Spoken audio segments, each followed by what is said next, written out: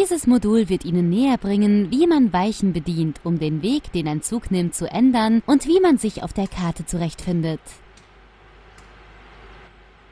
Die meisten Strecken auf der Welt werden ferngesteuert von einem Stellwerk oder einem Fahrdienstleiter. Aus der Perspektive des Zuges heraus ist die Richtung voreingestellt. Aber innerhalb von Rangierbahnhöfen und Betriebswerken sind regelmäßigere und kleinere Bewegungen nötig. Dort sind ferngesteuerte Weichen unpraktisch. An diesen Orten werden die Weichen per Hand gestellt. Sie können die Weichen stellen, indem Sie dorthin gehen und mit ihnen interagieren oder indem Sie zur 2D-Karte wechseln und sie von dort aus stellen.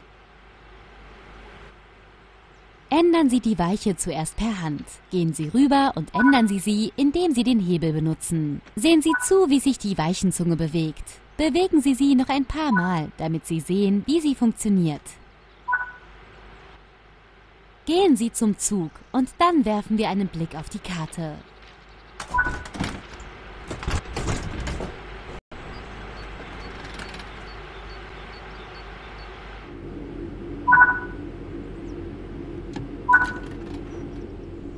Öffnen Sie die Karte und ändern Sie die angezeigte Weiche.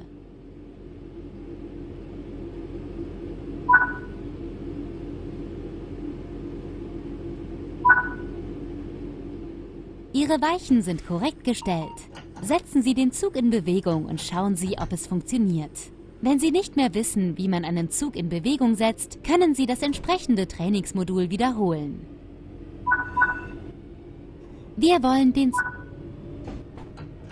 Jetzt, da Sie die Zielgeschwindigkeit erreicht haben, können Sie den Fahrschalter wieder auf Null setzen. Der Zug wird dann ausrollen und auf ebenerdigem Gelände wird der Zug allmählich verlangsamen.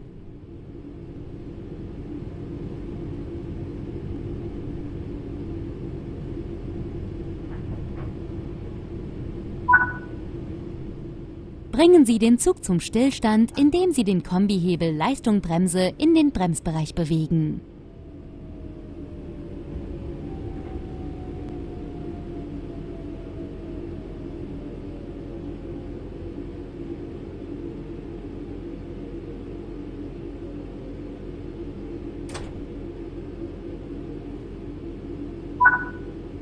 Das beschließt dieses Modul.